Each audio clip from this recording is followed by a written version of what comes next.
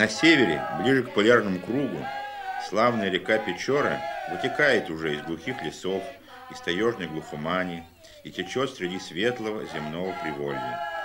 Там-то, на высоком Печорском берегу, стоит с давних пор большое русское село Усть-Цильма –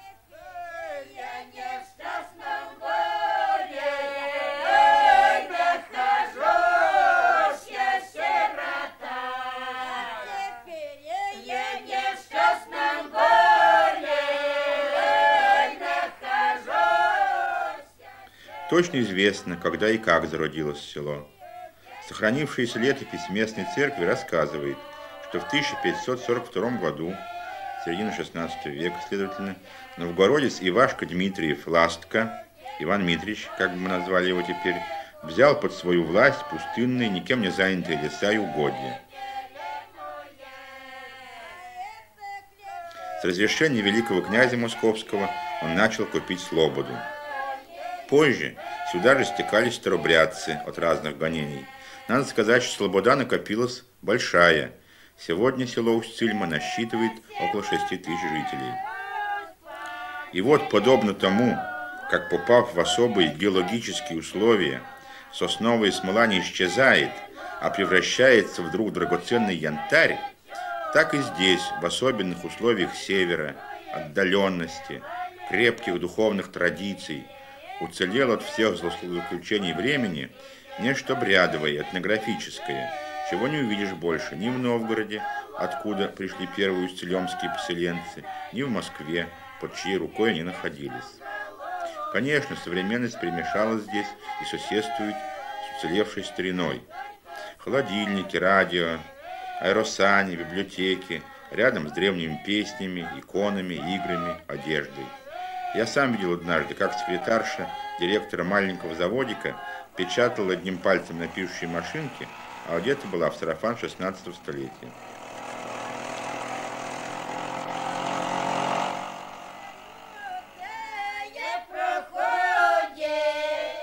Они сейчас шьют эти свои одежды. И дома, и даже есть специальное ателье. Привозят из Москвы парчу, бархат, другие материалы и шьют. Так что то, что мы видим – это не обязательно уцелело в сундуках, в нафталине с древних времен. Это, как ни странно, сегодняшний день Усть-Цильмы. Зимние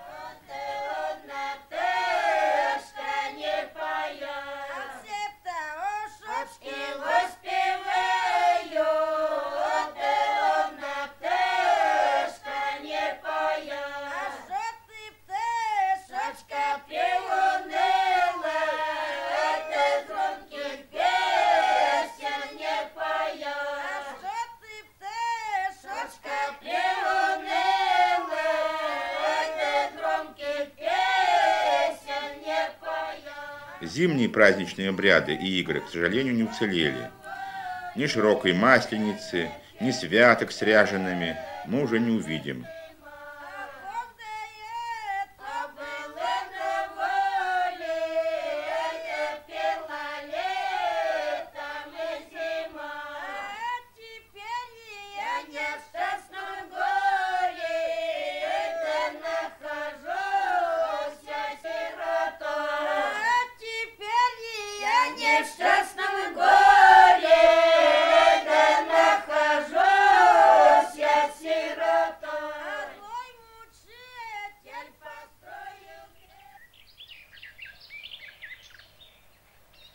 Раньше летом, начиная с весеннего Николы, то есть 21 мая, когда обсохнет и обогреется на высоком месте, на горке, земля, и потом остальные летние праздники, ну там, на Вознесение, на Троицу, в ярмарочные дни, когда приезжали торговать чердынцы да усольцы, собирались на горке люди, не только из Усть-Цильмы, но и соседних сел.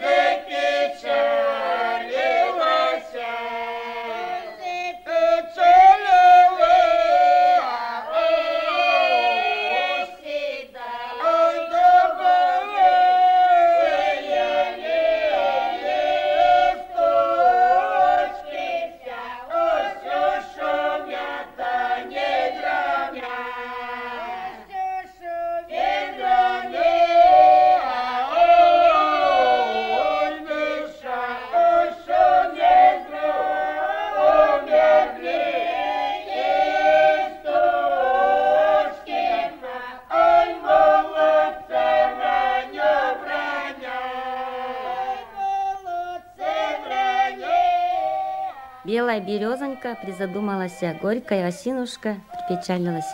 Дубовые листочки все шумят, гремят. Шумят, громят листочки, молодца Ваню бронят. Деревенский престольный праздник – это не просто попить, поесть, поплясать. Это возможность повидаться со всей родней, как говорится, людей поглядеть и себя показать, поделиться новостями. Старики за молодежью следят, кто на кого поглядывает, кто кому улыбается. Вот эти-то праздники, Усть-Целемские горки, и сохранились до наших дней. Горку начинали ходить столбами.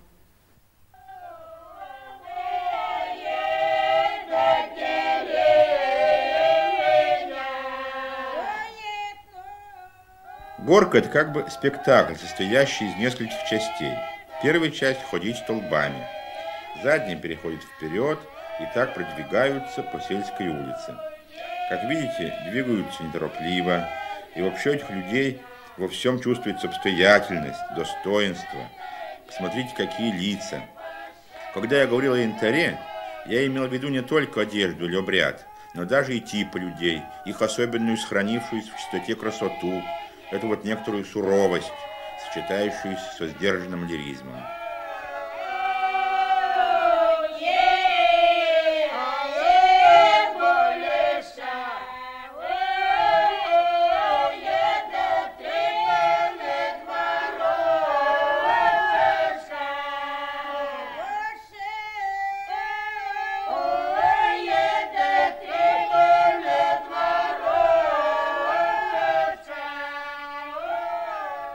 Горке было, на пригорке, на прекрасно было на местечке.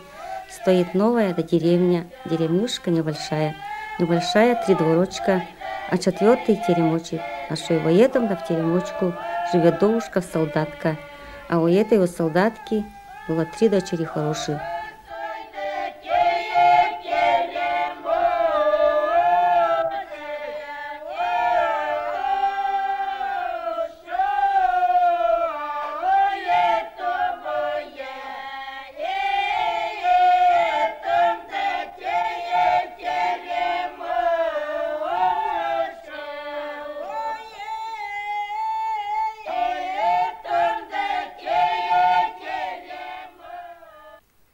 Кругом ходили под песню «Доль да с поречки, доль с показанки». Доль да с поречки, доль с показанки, сизой селезень плывет. Доль да с повережку, доль с по крутому, добрый молодец идет. Чоша свои кудри, чоша свои русы, часто мелким гребешком. Сама свои кудри, сама свои русы, приговаривая. Кому мои кудри, кому мои русы, доставались чесать.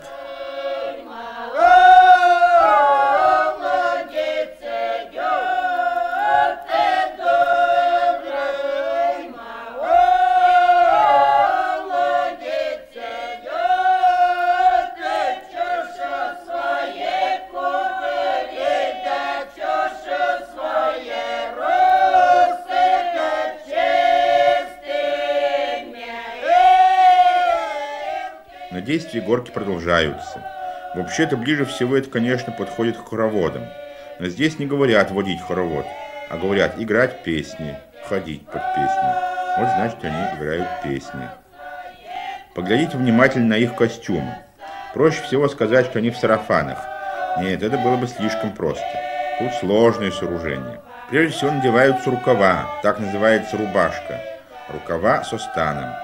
На плечах парчевые ластрицы, золотые, штофные, матерчатые, бурок, то есть воротничок, кушачки на рукавах. Сами сарафаны широкие, со сплоями, со складками, значит. На сарафанах нашивки, бейки, кисти. Сарафаны гладкие или цветастые. А по материалу сарафаны матерчатые, штофные, кашемировые, рипсовые, бархатные – а там еще супонь под грудью, а там еще фартук со сплоями, пояса парчевые, вязаные, разноцветные, с кистями, на груди серебряные цепи, а не какие-нибудь там легковерные бусы. А поверх всего так называемая коротенька, из самой дорогой парчи, надевалась только по большим праздникам. А там по воиничке да платы на головах. У девушек затылки открытые, у женщин, не боже мой. Оплаты рипсовые, лапчатые, канифатные, золотой выделкой.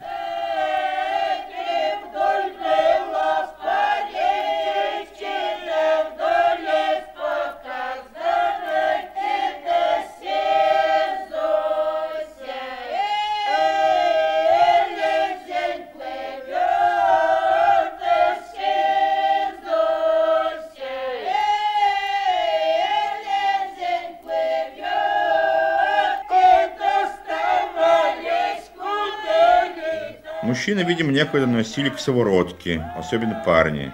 Рубахи одноцветные, под поясок, красные, синие, зеленые, коричневые, но ни в коем случае не белые. Позже пришли пиджаки, жилетки, хромовые сапоги, каркузы, а теперь, как видим, на мужчинах, кроме нескольких молодых людей, вполне современная одежда. Женщины казались более крепкими хранительницами древнего духа.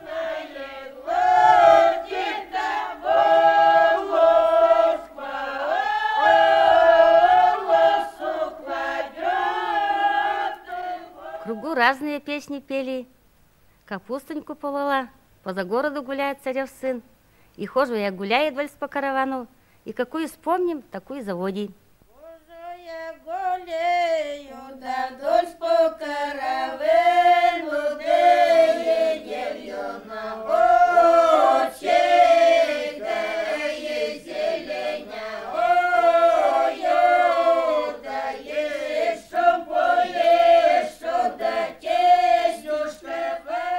Хожу я гуляю дольс по каравану, ищу поищу, тестюшка, батюшка. Тестюшка, батюшка, навари мне пиво. Навари мне пиво, я буду жениться.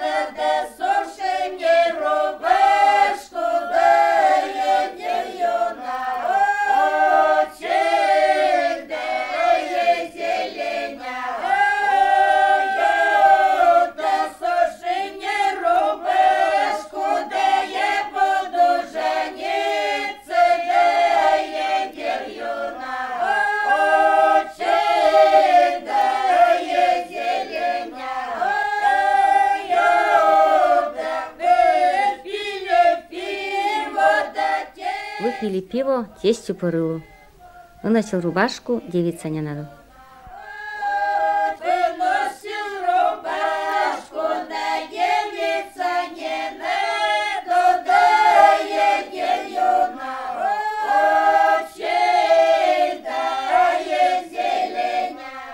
Сторона на сторону ходим под песню «Доль было с потравоньки, доль с помуравки».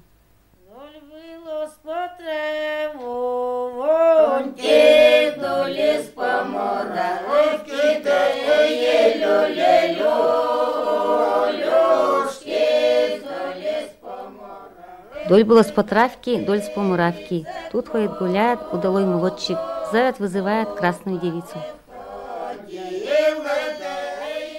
Девица к молодцу подходила, девица с молодцем речи говорила. Я ли тебя, молодец, из бесчестью? Пуховую шапочку сонимала, русая кудерушка растрепала, синий кафтанчик грязью заморала, смазно сапожечки затоптала.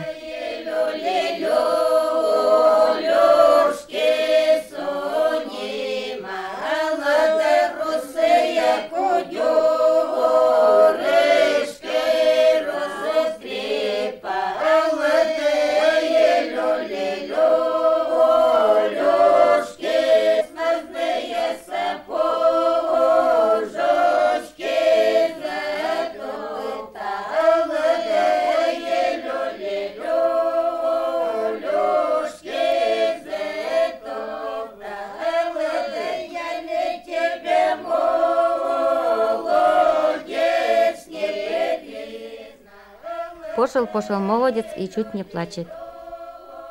Прости, прости, молодец, я ли виновата? Я ли тебя, молодец, не признала? Русая кудерушка зачесала, пуховую шапочку надевала, синий кафтанчик вытирала, смазанные сапожечки вычищала.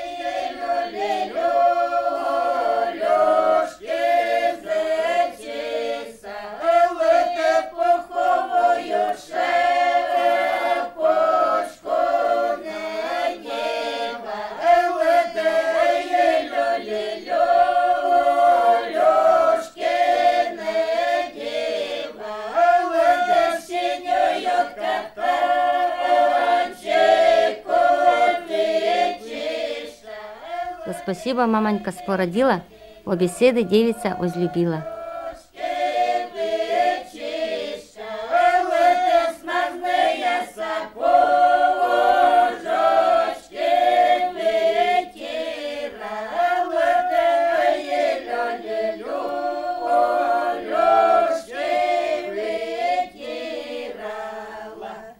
На четыре стороны одна песня была. Иванов монастырь становился. Монастырь становился, молодой черенец провострился.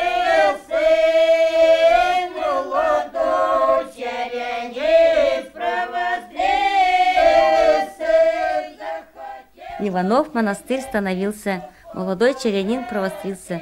Захотела черенчишу спогулять ей, по заулкам, переулкам колытать ей.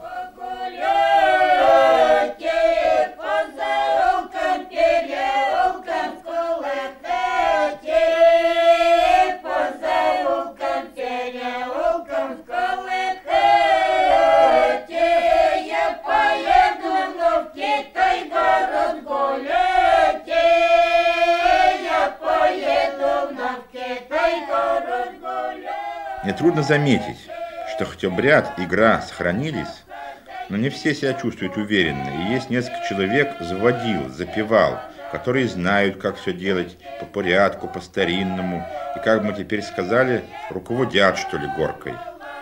Хотелось бы даже назвать этих сегодняшних «заводил» и «запевал».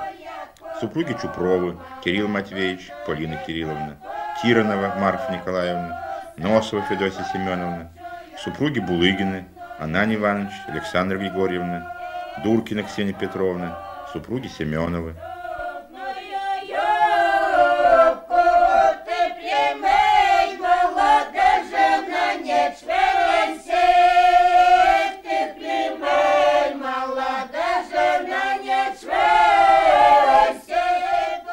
Я куплю молодой жены покупку, самую лучшую штофную юбку. Ты примай, молода жена, не чванься, душа сердца мое, не ломайся. Да посмотрите, как добрые люди, как жена-то меня молодца не любит, душа сердца мое ненавидит. Посмотрите,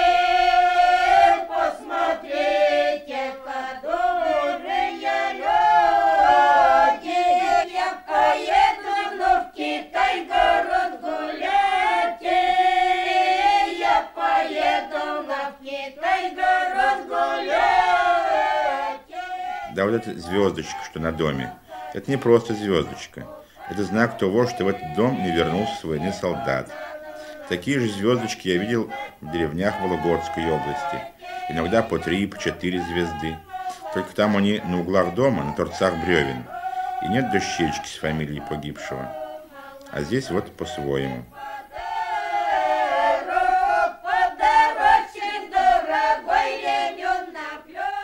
Я поеду вновь в Китай, город гулять, и чего надо на хозяйке закупать. ей.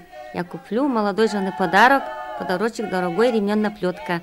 Ты примай, молода жена, не чванься, душа сердца мое не ломайся. Ты примай, молода жена, не чванься,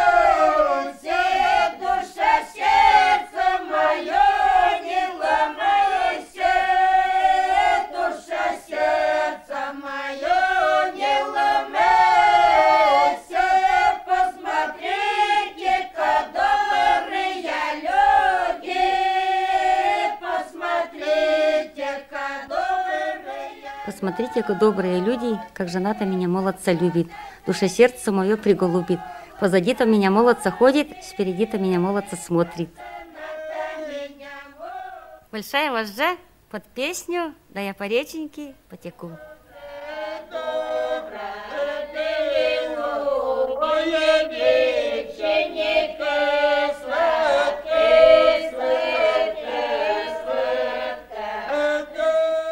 По реченьке потеку, да я к бабушке забегу. Скажет бабушка, добра, добра, добра, у ей реченька сладка, сладка, сладка.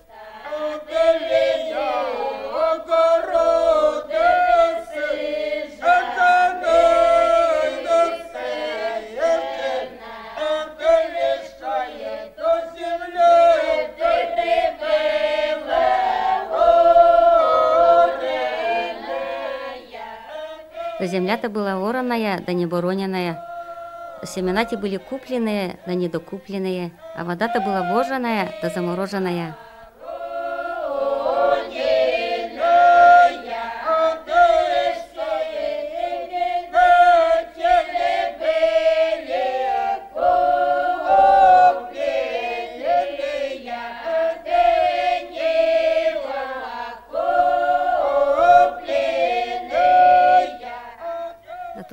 Ходила, гуляла, под эту песню заплетается и расплетается плетень.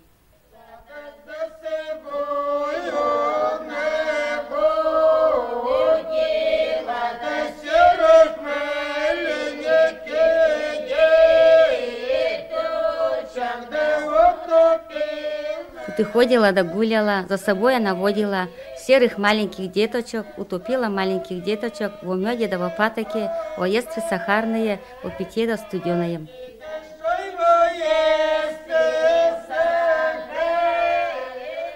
Да заплетайся плетень, да завивайся труба золота, да завернется комка хрущета.